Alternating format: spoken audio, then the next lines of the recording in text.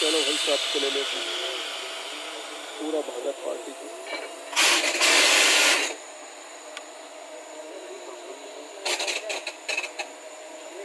गांधी जी के तो